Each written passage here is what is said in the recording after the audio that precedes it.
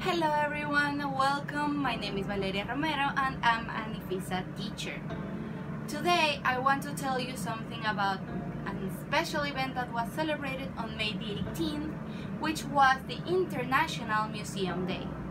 Its theme for this year was equality, diversity and inclusion. I want to tell you a little about museums just because I've heard and I've read that a lot of people may think that it's boring, but it's actually something pretty fun and interesting to visit just because you can find a lot of things from all around the world and history. A little bit about museums. Museums are these really amazing places where you can find a lot of history from the world, pieces of art, paintings, there's even scores there. There are some sculptures and a lot of, of articles and pieces from the past that you can find in the diverse wings of the, the museums. And it's an awesome place that you can go to learn a bit about culture from everywhere in the world or to see the art or the pieces from those that you admire from ages past or even new ones you can see the Mona Lisa or you can see Van Gogh's portrait or you can choose. But that's a museum. A little bit about the history of museums.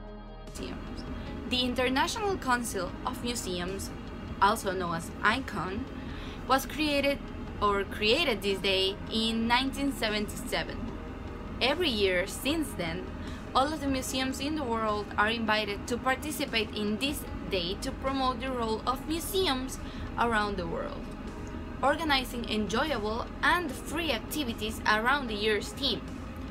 And as the years have gone by, we've been blessed to live in a society where while technology seems to seems to want to be taken over or take over everything, there have been certain things that are now considered cool that were once reserved for very specific demographics. Okay, while the number of participants were slowly climbing almost a decade ago, over the last five years, the numbers are climbing. And when we look at this, or when we hear about these things, we may ask ourselves why. And the truth is, well, it's simply, it's simply because history is now something that we consider cool. And Today, there are more visitors to museums all around the world than ever before. And even more, there are now people that are studying this at degree level more than at any point in history, which is shocking. Now, the importance for this day is, or the importance of museums is that there are few places in our world that are more educational than museums.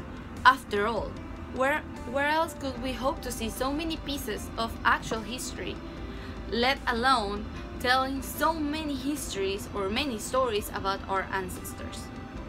From prehistoric spears to Egyptian mummies, from Greek sculptures to medieval armor, and from the first radio to the first planes or the planes used in, in World War II, museums have everything.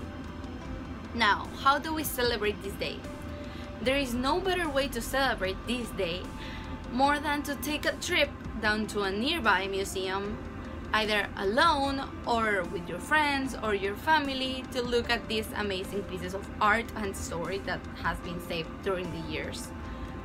Now there are some museums in the world, the most important ones, or maybe some that you know or some that you've heard about or read about in books, and these are the the British Museum, which is in London, the Musée d'Orsay, which is in France, the Uffizi Gallery, which is in Florence, the Rijksmuseum, which is in Amsterdam, the Van Gogh Museum, which is also in Amsterdam, which is beautiful and is surrounded with these fields and fields and fields of sunflower that you can take home, and the Pergamon Museum in Berlin.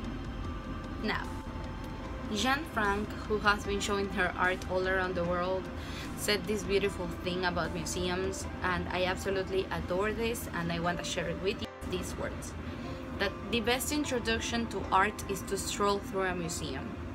the more art you see, the more you learn to define your own taste. And it's amazing how you can learn about who you are and what you're interested in by walking through a museum. Now, if you like the video, don't forget to like and subscribe and leave a comment saying what your favorite museum is. Bye!